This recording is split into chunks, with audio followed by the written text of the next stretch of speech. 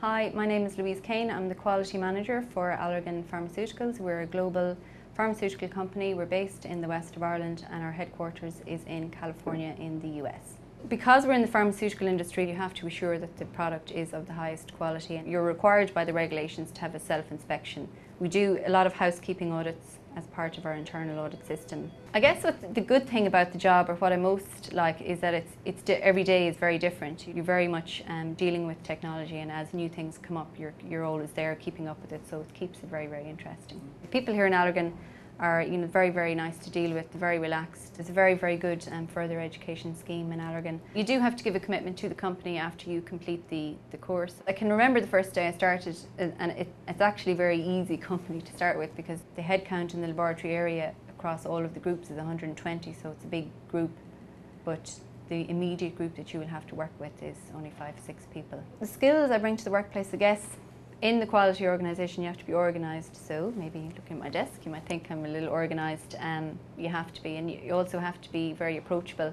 In terms of secondary level education what I would probably do if I was back 15 16 again having to choose my subjects for a leaving cert I would probably um, I did cover biology which I would advise doing again.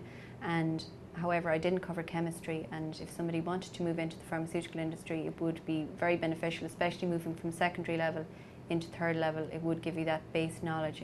Craic is, is good at Allergan. People interact well between departments. In Allergan, you do work hard, you know, and you, you get places by merit. Money is something that really never interested me. I'm probably very bad with money, but, um, you know, from I suppose what I earn currently, I own my own car. I, I actually bought a new car in January of this year. I already have it paid off, um, and I do have a, a nice house.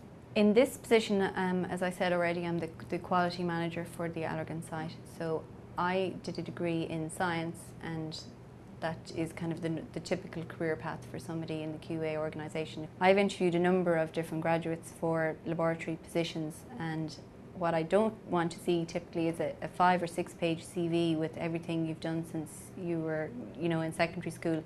Just keep it short, probably a page and a half to two pages is plenty. So to sum up, don't lie in your interview, no BS, and make sure you research the company and you have enough information to answer questions on the company.